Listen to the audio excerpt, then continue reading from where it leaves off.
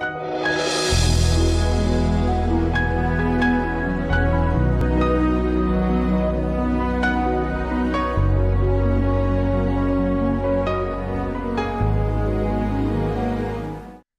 and welcome back to a new session from the teaching series on divine healing.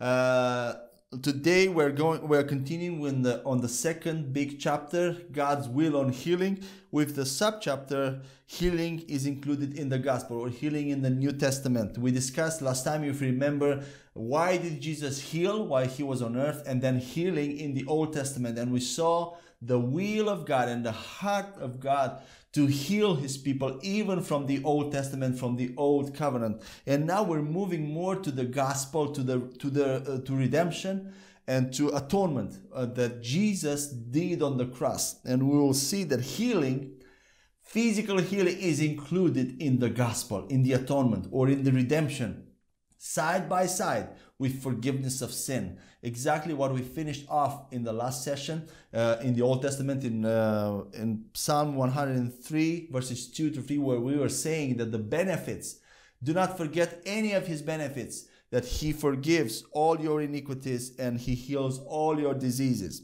Now, physical healing is the right and the responsibility of every Christian not of pastors, teachers, or prophets, or people people with special callings and anointing. It's the responsibility, it's the right and responsibility of every believer. If you are a believer in Christ, you have the right. Did you hear me? You have the right. Jesus Christ gave us the right of the cross. God gave us the right. We didn't force him, nobody forced him. He gave us the right to be healed and to minister healing to others. That's exciting. And a responsibility to be healed. It's your responsibility, it's not his responsibility to be healed and to minister healing to others. One of the biggest tactics of the devil in our days is to shift, even through us, is to shift responsibility back on God for why did people didn't get healed why things didn't work the way we expected why did god allow this no god didn't allow anything you allowed it christians have a very high responsibility because god has already done everything that he could have done he paid for all sin and for all the effects of sin through Jesus Christ. He gave his most precious possession. He gave us eternal life. He gave us salvation. He gave us his word. and He gave us His Holy Spirit. He did everything that He could have done. He recreated us. He gave us a spirit of faith. He gave us a spirit of power, of holiness, of wisdom, of uh, a sound mind, a spirit of, of truth. The Holy Spirit is in us. He gave us everything. Now it's our responsibility to work out what He has done inside of us. That great salvation that He has brought into our hearts, into our spirit here it's our responsibility to bring it out by faith in the word, in what he has done. So it's our responsibility. It's not God's responsibility. I know it's a hard, it's a hard uh, uh, pill to swallow, but that's the truth. That's the truth. It's our responsibility, and God helps us even through His Spirit. That's why He gave us the Holy Spirit to help us to, to, to produce those results and to bring healing to ourselves and to, to manifest healing to ourselves and to other people. You know, you are a walking billboard. From the moment you became a, became a Christian, a new, a born again believer, you are a walking billboard and a walking testimony for the world. So, what do you want to advertise? The works of the devil or the works of God? So, it's one of the two you will either carry and show to the world the works of darkness in you. That's through sins, through sinful acts, deeds, but also through sickness, through lack, through poverty. That's advertising sin, advertising the devil. And we are called to advertise, to proclaim God's excellencies, to proclaim His, His power, to proclaim, to manifest His power, and to proclaim to people how good He is, how full of mercy, how full of power, how full of grace He is, and how much He loves people and He wants to heal people and He wants to, to He has provided, He has provided His power for everyday needs, His life, his eternal life. I was talking in the last session, the life which can be applied for multiple needs in our lives. Everything we need is in his life that he has put in our spirits. And divine healing is included, as I mentioned in previous sessions, is included in redemption or in salvation or in atonement, but atonement is less than salvation. Salvation is more wholesome, it's more comprehensive. Atonement was a term of the Old Testament where sins were not really taken away, were just covered. That was atonement. Jesus, in a way, did atonement, but he didn't just covered our sin, he removed our sins. He removed our sicknesses. So uh, divine healing is included in redemption. And God made, as, as you know, God made man physical and spiritual, a physical, spiritual being. So redemption has to be both physical and spiritual. And the first part of our physical redemption is divine healing that God has provided for us here on earth. The second part will be our glorified bodies, which will be renewed when Jesus will come again. But our spirit has been completely recreated. Our minds are catching up, are renewed, and our body are healed. Our bodies can be healed while we are here on earth. Sin and sickness, as I mentioned, are two fruits from the same tree. Or better said, sickness is a result of sin. Man's sin caused sickness and disease. Before Adam sinned, there were, there were sickness and disease were not in the world. They came in through sin. So everything that came in through sin, it's from darkness. However, sickness was not and is not caused by, a, by an individual specific sin. You are not sick because you did something or you sinned or you, you, yeah, there are things that we can do, destructive things that we can do, habits uh, to, to hurt ourselves. But sickness per se doesn't come because of a specific sin that you did in your life. Sickness is an effect of sin in general, the sin that we are born with from our father uh, Adam. And the fact that healing is included in redemption, it's the most important thing about divine healing. Why? Because if physical healing was included in redemption, that, then we are as free to proclaim it as we are to preach salvation from sin. They are on the same, same place. And if healing is not true, then also salvation from sin. Any sin, anyone, anywhere, anytime is not true. Right? Why? Have you seen heaven? You believe in salvation. You receive Christ in your heart. But have, have you ever seen heaven? No. You believed without seeing. But if healing is something that we can see here, and if healing is not true, then how can you know that salvation and salvation from hell in the future life is also true? Right? Have you seen God? No. I mean, some people probably had some visions and saw God, but there are very few. But your faith is based on something that you haven't seen. If healing is not true, then also salvation is not true. And I was saying in a past session that it is easier to believe for forgiveness of sin because it's something of the past, Jesus died, and it's something of the future, Jesus will come. But it's a little bit more difficult to believe for the present for healing in the present because it, it, you need to see something. And when you don't see it then you start changing your theology.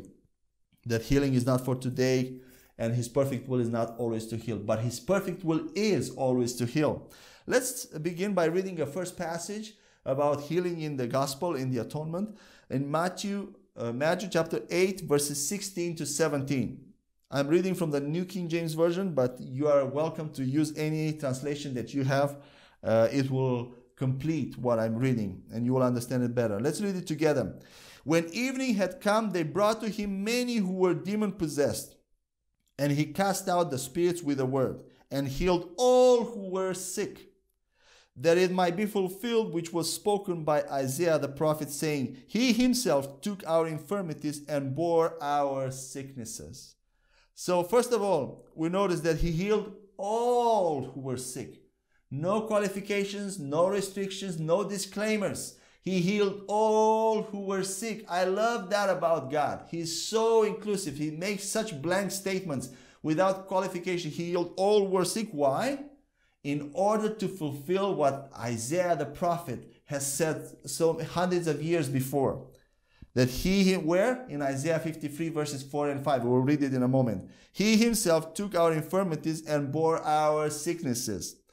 The word sick here from verse 16 matthew 8 16 comes from the greek word kakos which means sickness plague calamity or to be in a bad shape bad state and a few parallel New Testament passages using the same Greek word in relation to physical sickness are in Luke 7, verse 2, where the centurion slave who was highly regarded by him was sick, kakos, and about to die. Why am, why am I mentioning the Greek word? Just to make to assure you that here this verse is talking about physical sickness and nothing else, not emotional, spiritual sickness. It's physical sickness. This centurion slave the slave of this centurion that came to Jesus, he was sick, kakos, and he was about to die. And the same term is used in Matthew 8 16, that he healed all who were kakos. And other passages that use the same term, uh, if you whenever you have you have time, you are welcome to read them. It's in Matthew 4 24, chapter 9, verse 12, Matthew, and Matthew chapter 14 verses verse 35 another word the word i'll take every word. The word infirmities in verse 17 where it says he took our infirmities and bore our sicknesses. The word infirmities comes from the greek asthenia which means physical weakness illness sickness or disease the exact sense used here is impairment of normal physiological function affecting part or all of an organism. That's what infirmity is, especially understood according to the resulting weakness or caused by illness. And parallel passages using the same Greek word are Luke chapter 5 verse 15, Luke 13 verses 11 to 12, and Acts chapter 28 28, verse 9. Another word, the last word from this passage, he bore our sicknesses.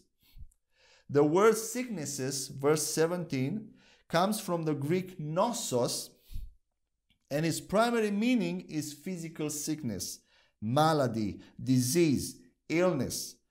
Parallel New Testament passages using the same Greek word are Luke 7:21 and Luke 9 verse 1. Now let's read uh, the passage that this uh, Matthew 8:16 is quoting from Isaiah 53 verse 4 to 5. Let's read it together. Surely he has borne our griefs and carried our sorrows. Yet we esteemed him stricken, smitten by God, and afflicted. But he was wounded for our transgressions, he was bruised for our iniquities. The chastisement for our peace was upon him, and by his stripes we are healed. So we see in, the, in these two passages from Matthew 8 and Isaiah 53 that what Jesus did, meaning he healed all who were sick, kakos, was actually the fulfillment of Isaiah 53, where it says that Jesus has borne our griefs and sorrows, and by his stripes we are healed. We, we are healed. And the, here now we have Hebrew words. In New Testament we have Greek, but here we have Hebrew. The Hebrew word for griefs, just to, to assure you that here is not talking about being upset or depression or emotional thing. It's talking about sickness, physical sickness. The Hebrew word for griefs in verse 4 is koli, and its first meaning is sickness. The other secondary meanings are affliction, disease, grief, illness, sick.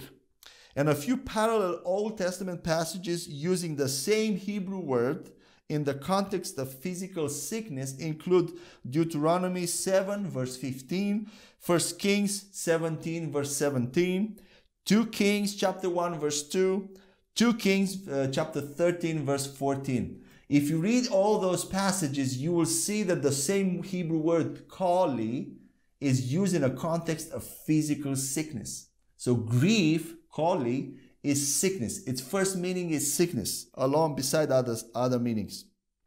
Then we take the word sorrows. The word sorrows, the Hebrew word sorrows, is makob, which means pain, sorrow, suffering. In parallel Old Testament passage using passages using the same Hebrew word in relation to physical pain, uh, Job chapter 33 verse 19. We know that Job really experienced physical pain. Uh, chapter 33 verse 19. So makob, it's physical pain as well. So if some Christians don't have don't have a problem with healing in general, so we know that some Christians, not all, most Christians have a problem with healing. Uh, they say it's not for today. Uh, we have to endure. It's a hidden will of God, and we will take one by one all these lies of the devil and we'll put them down. But most uh, many Christians don't believe in healing. Some believe that don't have a problem with healing in general. They kind of believe, but when they start praying for healing, you know that they don't believe actually, because you, the words they use, the way they pray, shows that they don't really believe, don't, don't have an understanding of how healing works, how faith works. But another big problem besides all this is we have a problem with all. It seems too radical, and because we don't always see it, uh, healing manifesting when we pray, we have a we struggle with that that it's not for all it's not for all sicknesses not for everybody not all the times but jesus healed all who were sick and that and that all should be healed all who are sick and all should be healed and it's usually because they as i said you prayed for someone he didn't get healed or she didn't get healed healed and then you begin to believe that it's not for all so you believe that it's not for all. And the same thing is with salvation. Sal- the salvation of Jesus paid for the sins of all people. This analogy with our salvation of sins uh, helps very much. Salvation from sin is paid for all sins, all people, anytime, anywhere, right? Anybody can get saved, but not everybody does, right? Why? You, and can you blame God for that if they don't get saved? Why? You cannot blame God because God already paid the price. But why don't doesn't anybody get healed, uh, get saved? Why doesn't everybody accept God and Jesus? The price for healing has been paid exactly like the price for salvation from sin. But will everybody be healed? No exactly like salvation. Will everybody be saved? God wants for all to be saved. He wishes for all to be saved, but not everybody gets saved and not everybody gets healed. Why? Is God to blame? Is God the, the responsible one? No. God doesn't decree healing at the individual level. I will say it again. God does not decree healing at the individual level. He doesn't sit in heaven and just flip a switch uh, on who gets healed or, or who, who doesn't. He doesn't know like this will get healed, this will not. This will, oh, let's see how much they prayed, or let's see how holy they are, and then I'll grant healing. No, no, no, no, no. He flipped the switch in favor of healing once and for all when Jesus paid for it with his stripes. He's flipped the switch. He said, I want healing for everybody. It's not just individuals, not for certain individuals and then for others. No. God paid for ill healing once and for all for anyone, anywhere, anytime, and any sickness. And God has already granted healing for anyone, anywhere, anytime. If there is sickness and disease in a person, it's either because we have not received it or we haven't ministered it. So that's the only reason. Of course, sickness and disease comes from the devil. But the reason it stays there, we it stays there because we didn't repel it, we didn't refuse it by the power of God, we didn't destroy it by the, uh, the power of God. Let's continue to read another passage from Luke chapter 5, verses 12 to 13 says this. And it happened when he was in a certain city that behold, a man who was full of leprosy saw Jesus and he fell on his face and implored him, saying, Lord, if you are willing, you can make me clean. Then he put out his hand and touched him, saying, I am willing, be cleansed. Immediately the leprosy left him. most of us know that God can do anything and heal anyone, but we are not sure if God is willing to do it for us personally when we are sick. And I, I, I kind of uh, said that in the uh, past session, but it doesn't hurt to say it again. However, God is always willing to heal. Say it for yourself. God is always willing to heal me. He always wants to heal me, to cleanse me, and that has been on his heart all along, always from it from, from the beginning. In the case of the man full of leprosy in this passage that we just read, notice that Jesus didn't say, Father, you know, we have this leprosy here, and you know, he's in a bad condition, Father, you know, and you know, Lord, he's got problems, Lord. I mean, look at his ear, it fell off. Oh, that's terrible. Lord, we, we just pray for him. And look at his nose. That must have hurt. Look at his nose. So, Lord, we just pray. You know, you know what's best for him. Um, Lord, we, we pray for healing, but we just trust you. Probably you're laughing because I, I barely refrain myself. But that's how we pray. And notice that Jesus never prayed like that. He, di- he didn't pray like that ever. The apostles, didn't pray like that ever. The Bible doesn't show even a case or, or an encouragement that we should pray like this. Oh Lord, you know, no, I have mercy on this. Oh, you know, you know how bad it is, Father. But we trust you. We know your will. We we trust in you. That's that's not a biblical a biblical prayer, and we still do it. Why? Because it's it's been done for a long time, and we just copy it and do it, and that that kind of prayer doesn't reveal faith. It's not faith in what God has done. It's basically putting the blame and responsibility on God. Oh God, we just trust you. So if it doesn't happen, it's your fault. It's not my fault. It's your fault. No, isn't that right? what is God saying? Let's continue with 1 Peter 2:24. I don't want to offend anyone. It's not evil. I don't have any bitterness in my heart because I, but I, I, I'm just trying to show you that we need to change. We need to change our way of thinking, our way of prayer, and take the word of God seriously. 1 Peter 2:24, who himself bore our sin in his own body on the tree, that we, having died to sins, might live for righteousness, by whose stripes you were healed, by whose stripes I was healed. You see here, the same thing from Isaiah is reiterated in this passage in the New Testament in 1 Peter, but in a different sense, in, in a different tense. Remember in Isaiah 53, it was by his stripes we are healed. And here it says, by his stripes we were healed. So something happened between Isaiah 53 and 1 Peter 2.24, right? Something significantly happened. What, what happened? What happened? Jesus died on the cross. So something significant happened between Isaiah 53 and Matthew 8, where Jesus was alive, and 1 Peter 2.24. Jesus died on the cross. So if here we are healed, and Jesus proved that, here in 1 Peter we were healed in Jesus' sacrifice.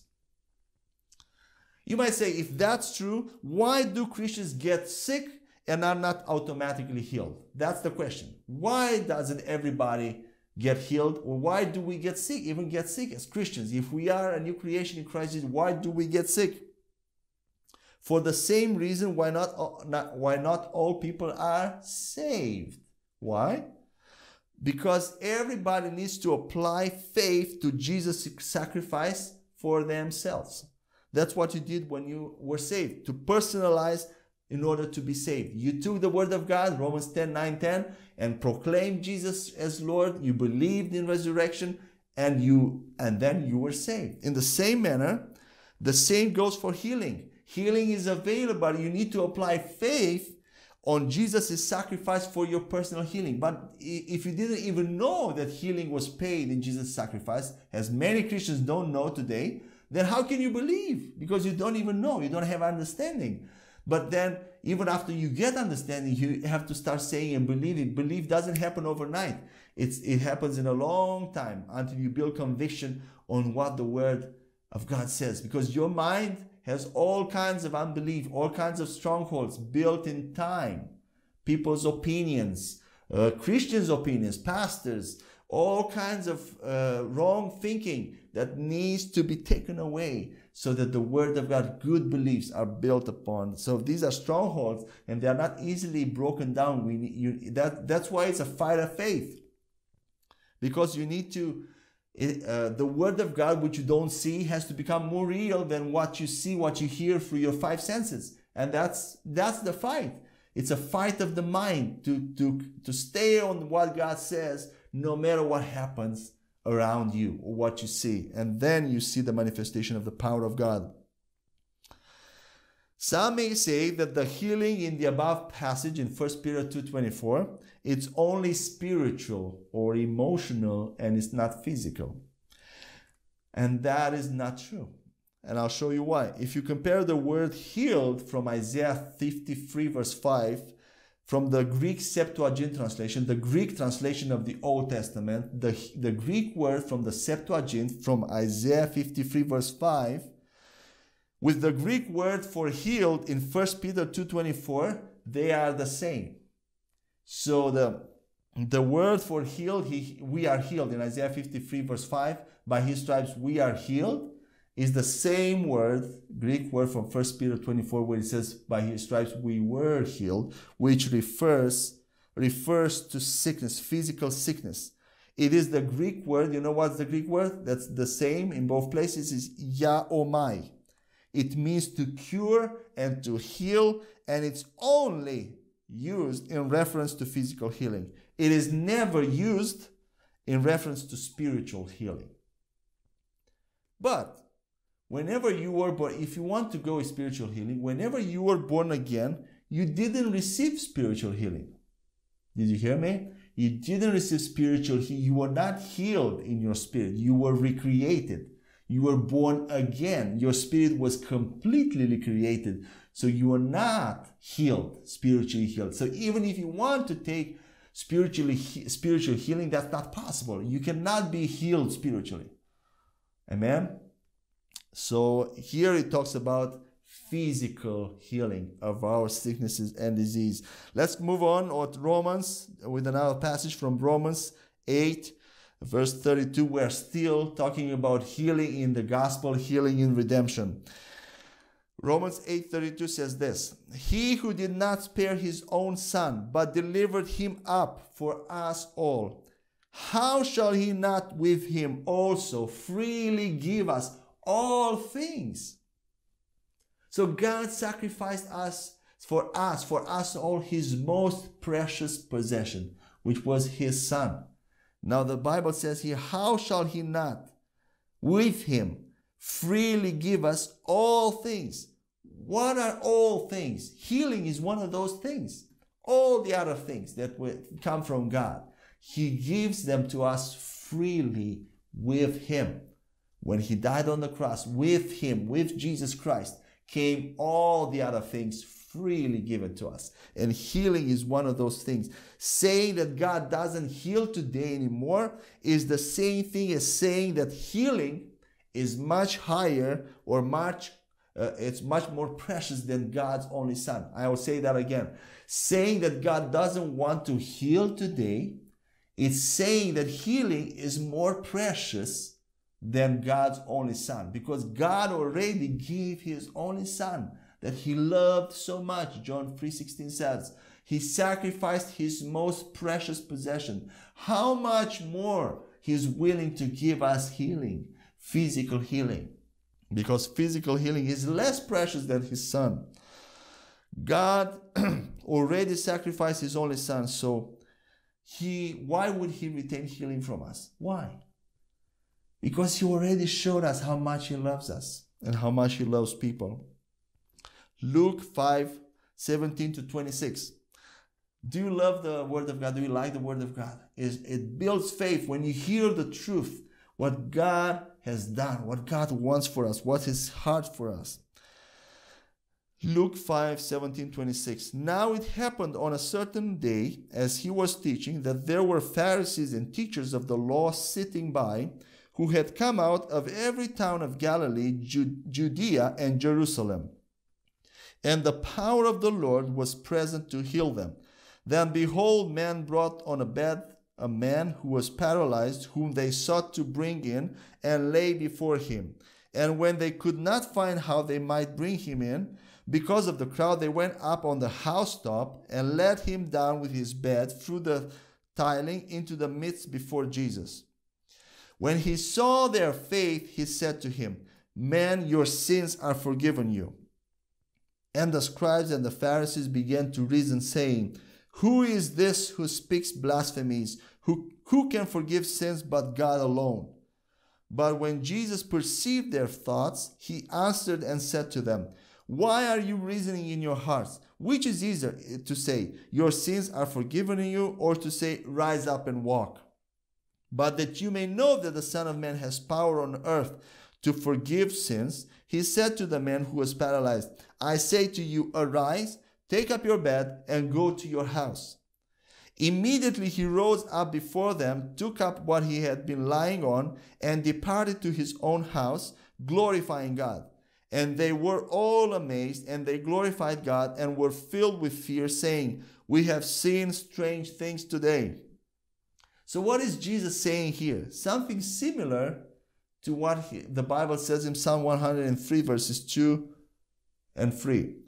In other words, says this God, guys, both forgiveness of one's sins and or healing them of sickness are impossible to accomplish humanly speaking both forgiving sins to forgive sins and to heal sicknesses is they are both impossible to do without supernatural in a human in a human strength.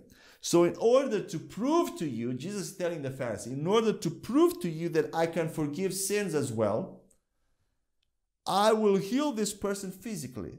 So that when you see by doing one miracle that is equally required for forgiveness forgiving sins i hope that you realize that i also have authority to forgive sins so if they are both on the same side, both are both are impossible. Both are supernatural works. So what Jesus is saying, because forgiveness of sin is something that you don't see, is not tangible.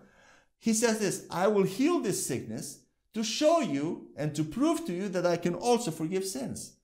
Right? Because they are they both require miracle, both require the power of God. That's what this passage here says. Because he says in verse 23, which is easier? Both they are not easy to, to say your sins are forgiven or to rise up and walk. They are both impossible.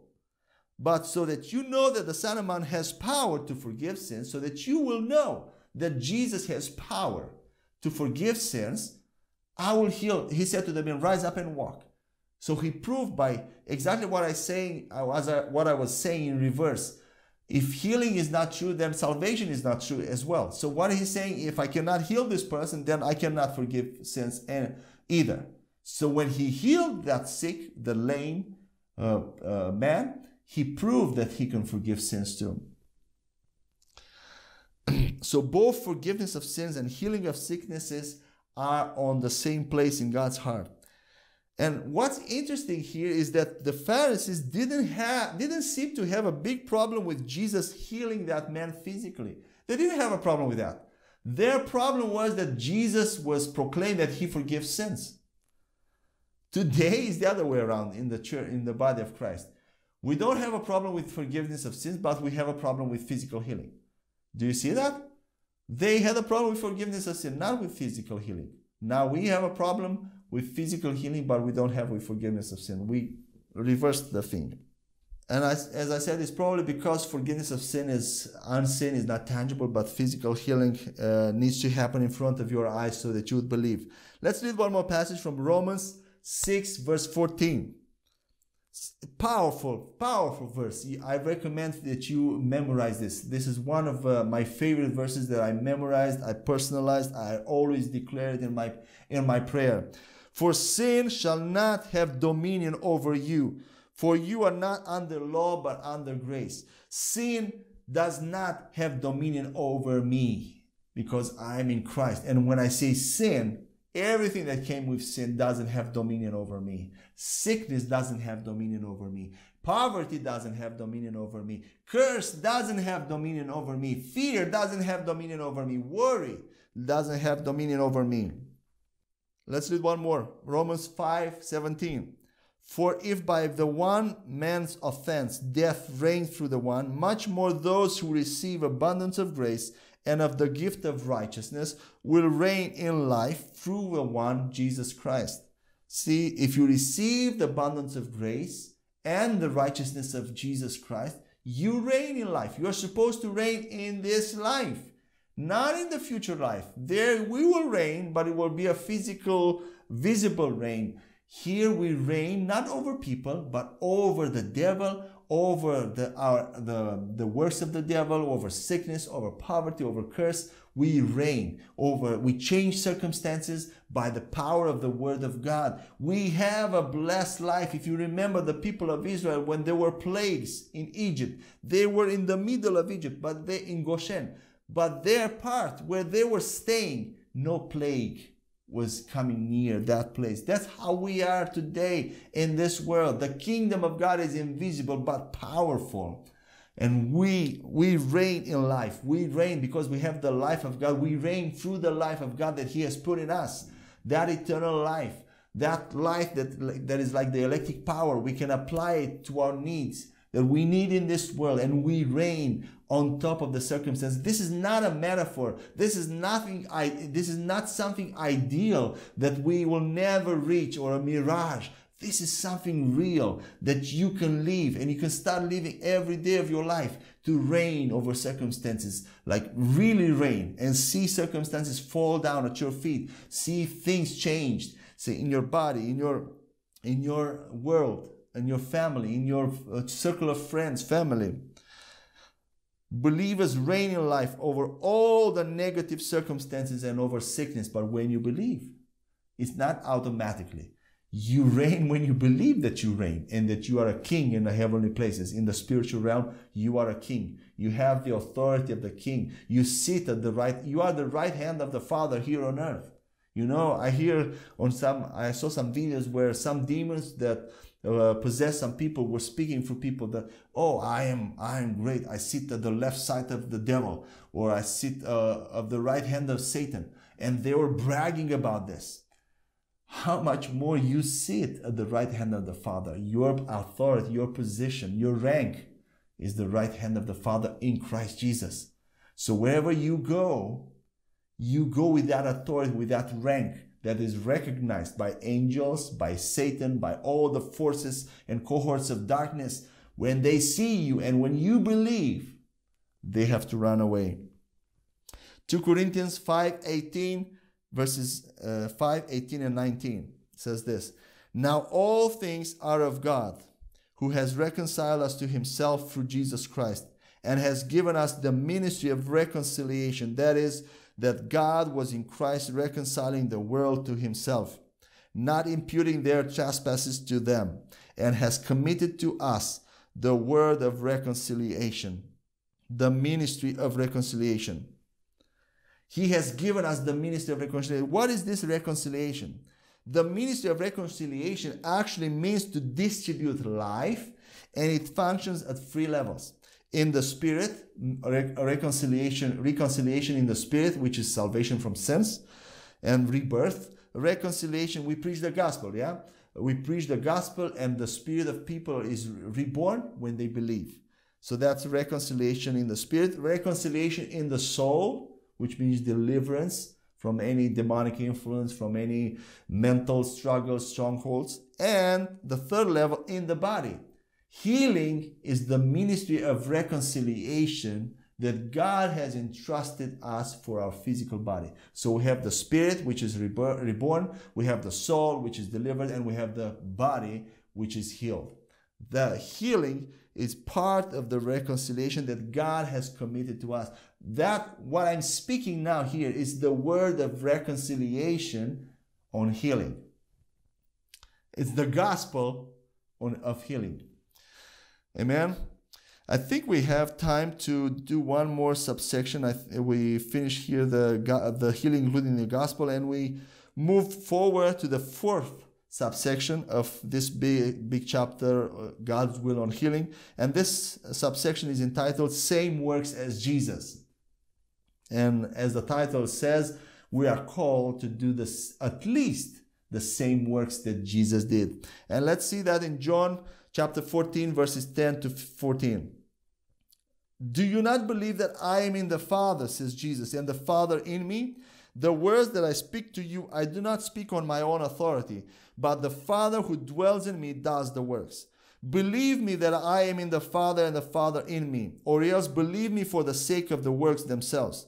Most assuredly, I say to you, he who believes in me, the works that I do, he will do also, and greater works than this he will do, because I go to my Father.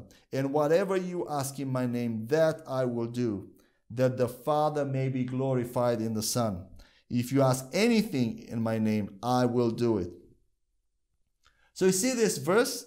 It says that we are supposed to do at least the works of Jesus and then greater works as well. Not stop there.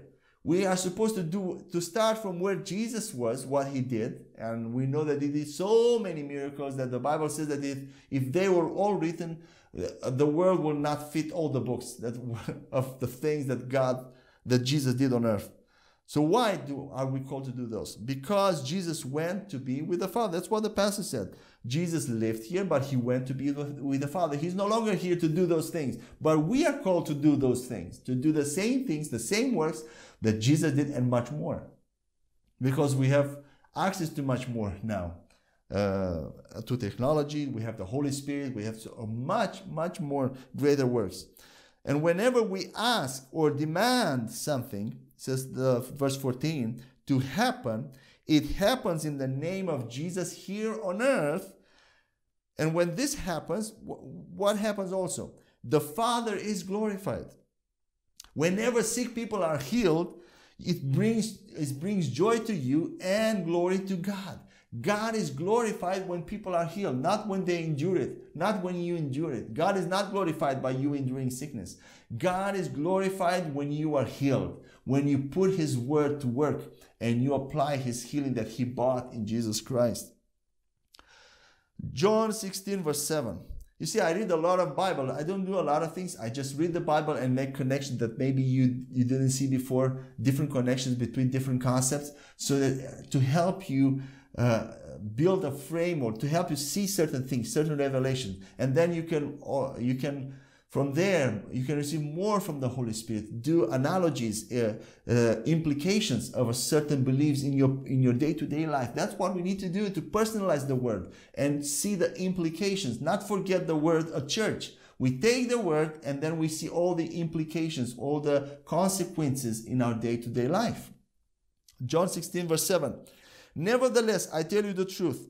It is to your advantage that I go away. For if I do not go away, the Helper will not come to you, but if I depart, I will send him to you. So, healing people is not a spiritual gift given by God to only a few people. I know God has given gift that gives God uh, gives gifts of faith, gifts of healing to certain people like Smith Wiggles or like uh, other people uh, of God in the past and even today. But what I'm talking here is not a gift. I'm talking about the right and the responsibility of every believer to grow in faith and to do, to manifest healing and to minister healing all the time. That's what I'm talking. It's not something that God just puts in you and then it just works for you no matter what you do, no matter if you renew your mind or not, or if you believe the word of God. Yeah, people that have a gift of healing or a faith, you when you read about them, you see that they just prayed, they didn't even have faith, they didn't have it was a surprise for them, and people got healed. That's a gift. It's not you growing in faith. And that's a difference. And God's gifts are not God's best. That's, God doesn't want us to operate by gifts. He wants to operate as believers in Christ Jesus. And I probably I'll, I'll talk about this later on. Matthew chapter 10, verse 23 to 25. So the so Jesus sends the Holy Spirit so that we can do what he did. Let's read it together. When they persecute you in the city, flee to another. For assuredly I say to you, you will not have gone through the cities of Israel before the Son of Man comes. A disciple is not above his teacher, nor a servant above his master, his master. It is enough for a disciple that he be like his teacher and a servant like his master. If if they have called the master of the house Beelzebub, Beelzebub, how much more will they call those of his household? And Luke chapter 6 verses 39 to 40. And he spoke a parable to them. Can the blind lead the blind? Will they not both fall into the ditch?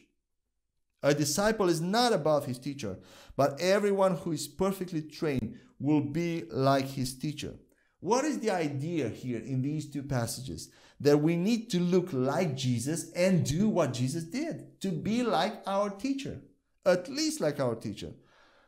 You cannot look like Jesus and not operate in power. Can I say it again? You cannot look like Jesus and not operate in power.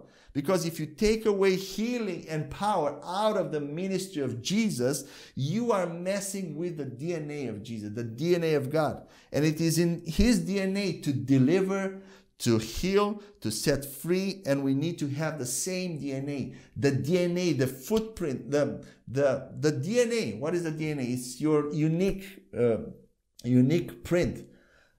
The DNA of God, the DNA of Jesus was to heal, to set free, to to to help people and that's the dna we need to we have as children as sons and daughters in god we need to have the same dna activate the same dna and you, you might have heard people sometimes said oh yeah but that was jesus or those were the disciples it's not us that those things were just for them and there will always be somebody like it's not me but somebody the disciples or Jesus or Smith Wigglesworth were, uh, I say about Smith Wigglesworth because I like him, but there's also John G. Lake, there are Lester Sumrall, there are all other people like Oral Roberts, Benny Hinn. There are people that healed other people and operated in, power. But the devil has at least two tactics to stop you from releasing power. The first tactic is by putting you down at first when you start hearing about healing, about the word of God, he will come through other people saying, Who do you think you are? You are young, you don't know. I mean, look, uh, I mean, our pastors, our fathers, our like the whole Christian tradition tradition has been going for so many years, and these things were not preached. And now you find this new thing. So that's the tactic of the devil. The first one is to stop, to put you down. But if he doesn't manage to do that, he will apply the second tactic, the second strategy, where he start after you start getting victories and you see healing manifested, he starts pushing you forward. How? You are now someone important. You are everybody should listen to you now. You are the anointed one. You have the words of life. You are special. So what does the devil do? Comes with pride and that's the second tactic that he will second tactic that he will try to destroy you when you start operating in healing ephesians chapter 4 verses 11 to 15 we have a few more verses. And he himself gave some to to be apostles some prophets some evangelists and some pastors and teachers for the equipping of the saints for the work of ministry for the edifying of the body of christ till we all come to the unity of the faith and of the knowledge of the Son of God, to a perfect man, to the measure of the stature of the fullness of Christ, that we should no longer be children tossed to and fro, to and fro, and carried about with every wind of doctrine by the trickery of man in the cunning craftiness of deceitful plotting, but speaking the truth in love, may grow up in all things into him who is the head Christ.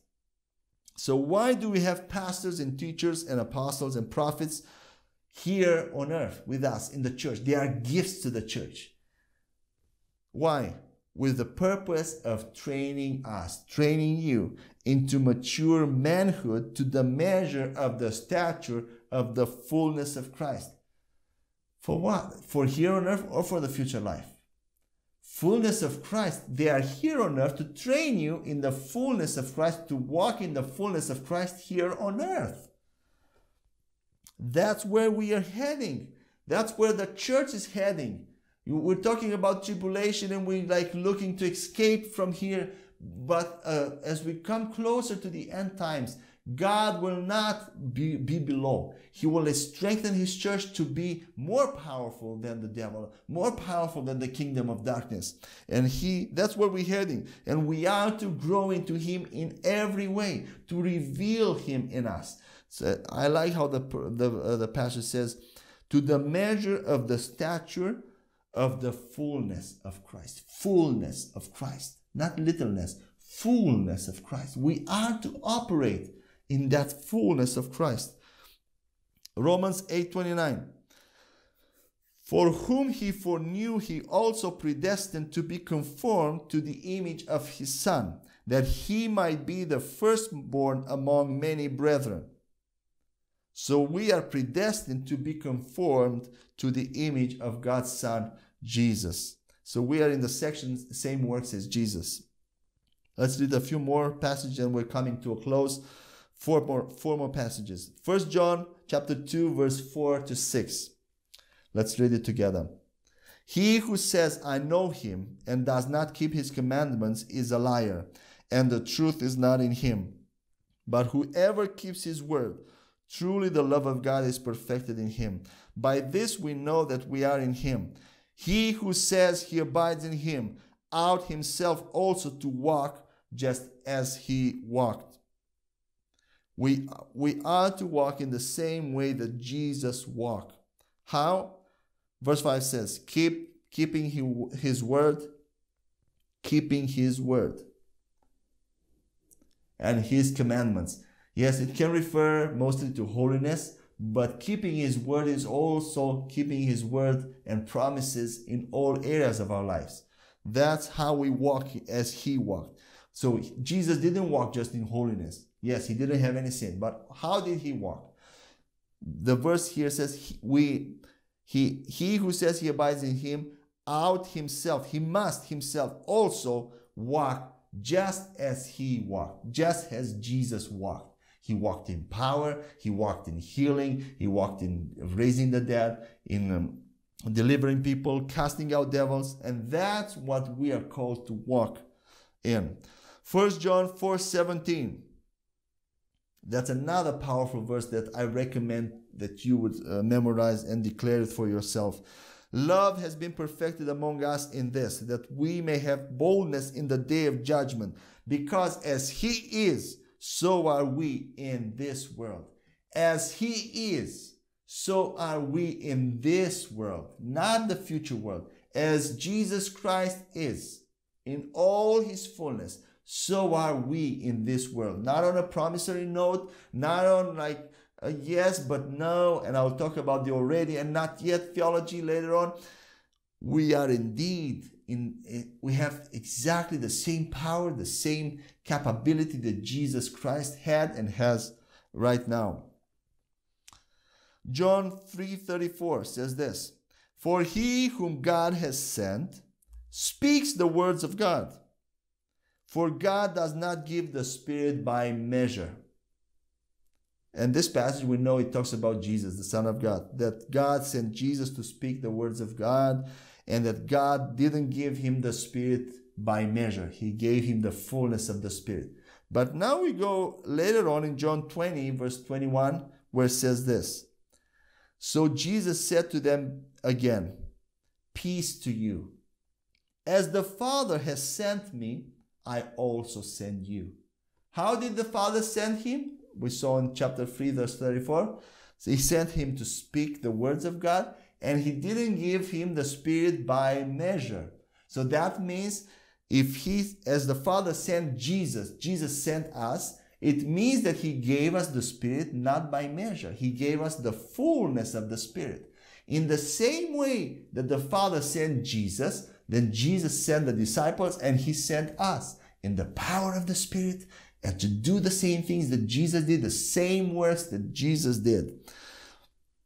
And I think we'll we'll uh, stop here today because I gave you a lot, a lot of verses, a lot of things to think about, and I I, I encourage you to take time to meditate on them, to to build that that's how you grow in faith. Meditate on these things. Make connections. Uh, see how does apply to, into your life into your day-to-day life. Start personalizing, start speaking those words because they apply to you. So today we talked about healing in the gospel in the New Testament and about that we are called to do the same things, the same words at least that Jesus did. We are to walk as Jesus Christ walked. We are uh, Christ on earth. Jesus Christ is in us and we are in Jesus Christ. We have the mind of Christ. Until we see each other next time, may God bless you and, uh, and grow you, establish you in faith in Christ. Amen.